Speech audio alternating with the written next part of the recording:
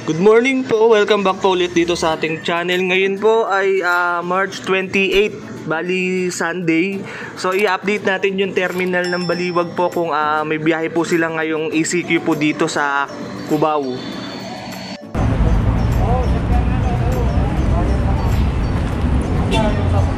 Kaya wala? Hang- hanggang kailan po yan?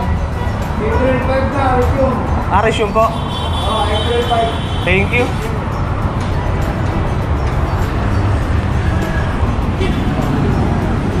So narinig po natin wala daw pong ah, biyahe. Bali magre-resume po sila sa April 5. Kung makikita po natin dito sa may terminal, wala pang mga wala nang mga bus.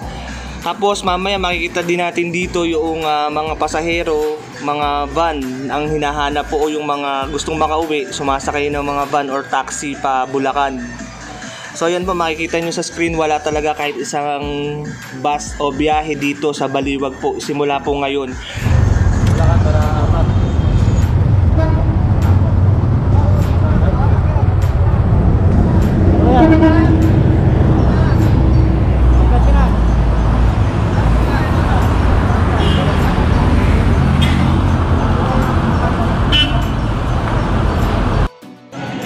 Ang oras po natin ngayon ay alas 9 ng umaga, March 28, Sunday. Bali, ayan po, bali ito na yung status ng terminal ng Baliwag dito sa Cubao. So sa mga uwi po ng Bulacan, wala po silang biyahe dito ng ah, pabulakan po sa Baliwag Terminal po.